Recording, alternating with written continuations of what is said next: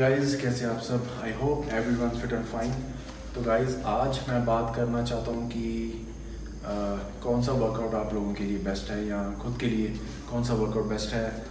Super set best है या single workout best है? मुझे कितने लोगों ने पूछा है कि पूछते भी हैं और डीएम भी आते हैं कि इंस्टाग्राम पे कि हम कौन सा वर्कआउट करें जो हमारे लिए सूट हो। तो इसका सबसे जो ईजीएस्ट आंसर वो यही है कि जो वर्कआउट आप लोग इन्जॉय करते हैं जो जिसमें आप लोगों को मज़ा आता है, चाहे वो फुल बॉडी हो या सिंगल बॉडी पार्ट है या सुपर सेट टाइप हो या हाई डेप वर्कआउट हो या हैवीएस्ट से हैवीएस्ट आप लोग उठाना चाहते हो, जिस वर्कआउट में भी आपको मज़ा आता है, वो वर्कआउट आप लोगों के लिए है, वो सस्टेनेबल है।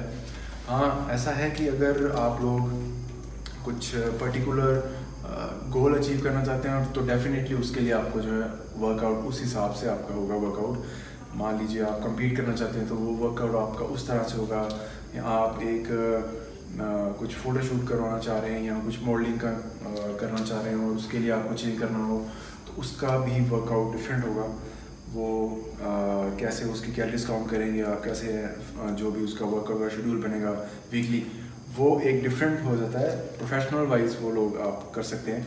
बट अगर जनरली आप लोगों को वर्कआउट जो सूटेबल लगे, वो यही होगा।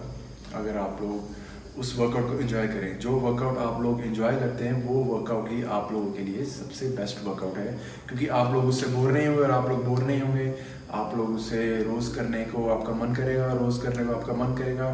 तो ऑब्वियसली जो है, आपको रिज़ल्ट मिलेंगे और रिज़ल्ट मिलेंगे और आप लोगों को अचीवमेंट जो मिलेगी उससे आप लोगों को अच्छा लगेगा। You will see your body change अपने आप को आप जब शीशे में देखोगे तो आपको बहुत से, बहुत ही अच्छा लगेगा। तो मैं सबसे ईजिएस्ट आंसर यही दूँगा कि जो भी आपको वर्कआउट पसंद हो करना full body single workout super set या वो एक और एक और वर्कआउट चल रहा है आजकल वो पुश पुल का एक दिन पुश डे एक दिन पुल डे वो भी आप वो कर सकते हैं। आ, कुछ लोग पावर लिफ्टिंग करते हैं। अगर वो पसंद है आप लोगों को वो कर लीजिए।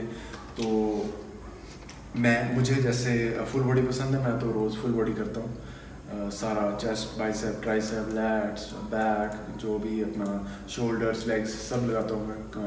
का फोर आर्म्स शर्ट्स जो कॉलर्स हैं वो सब लगाता हूँ मैं।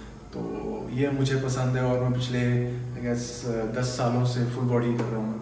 तो अगर आपको स्टिल आप लोग जो है वो आ, कंफ्यूज हैं कि मैं क्या करूँ मैं कौन सा वर्कआउट लूँ और कभी भी आ, मैं ये कहूँगा कि किसी को कॉपी करके वर्कआउट मत करें।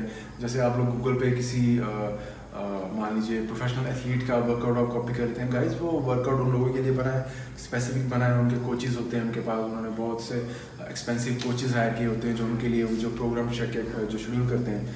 आप लोग किसी के ऐसे वर्कआउट फॉलो मत करें। मैंने कई बार देखा कि लोग वर्कआउट फॉलो करते हैं थोड़ी देर फॉलो करते हैं और वो फिर जो है बोर हो जाते हैं या वो छोड़ देते हैं। कहते हैं रिज़ल्ट नहीं मिला क्योंकि वो लोग उस वर्कआउट को इन्जॉय नहीं कर पाते। तो सबसे सिंपलेस्ट आंसर यही है, जो वर्कआउट आप लोग इन्जॉय करते हैं वो वर्कआउट ही आप लोगों के लिए बेस्ट है। तो ये थी मेरी आज की छोटी सी वीडियो एक सिंपल टिप होपफुली जितना आप अपनी फिटनेस जर्नी को सिंपल रखेंगे, उतना ही आप इसको लॉन्ग लाइफ जो है चला पाएँगे। तो थैंक यू